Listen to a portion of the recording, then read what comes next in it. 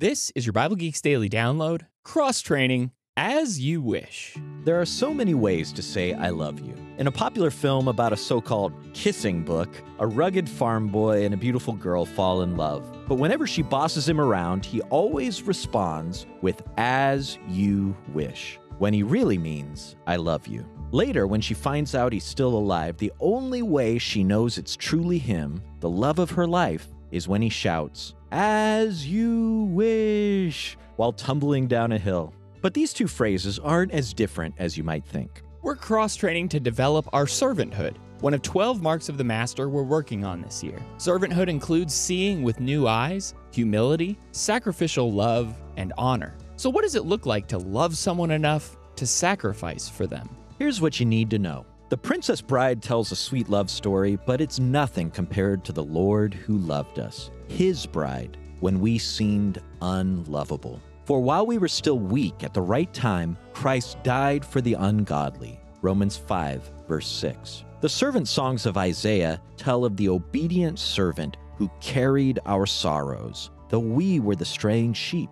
It's easy to think of love as some warm and fuzzy feeling that you have towards someone, but Christ like love is a commitment to everyone, friend and enemy alike, seen in each interaction with others. It's good to tell people that we love them, but we also need to show them. Jesus didn't express love in empty platitudes, but on a cross. Sacrifice is an undeniable language of love. So whenever you doubt his love for you, go back to that supreme I love you.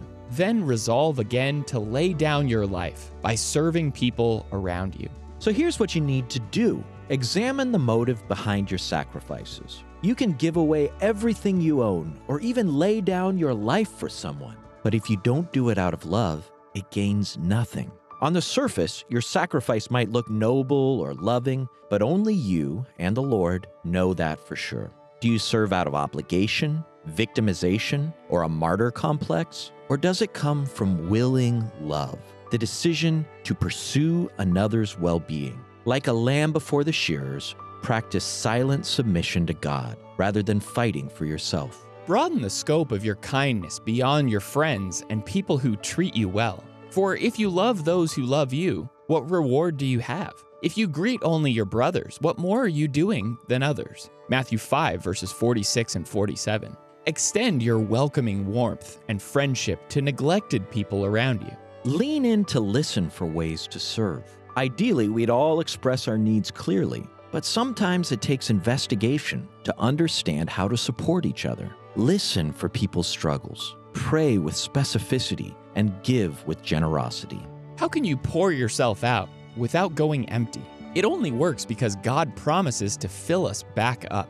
We can give because God provides. Do you believe His promises? So, how can we love others sacrificially through the week?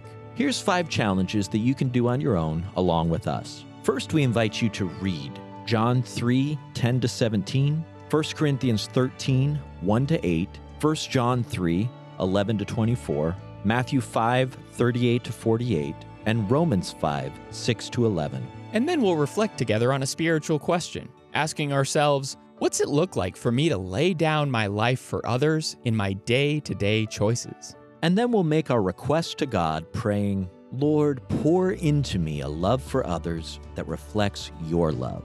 And then we challenge you to respond, taking action this week by telling someone you love them today, not with words, but with your actions. And finally, we encourage you to reach out by asking someone, How do you balance your needs with sacrificing for others? So let's love others as God loves us this week. And may the Lord bless you and keep you today. Shalom.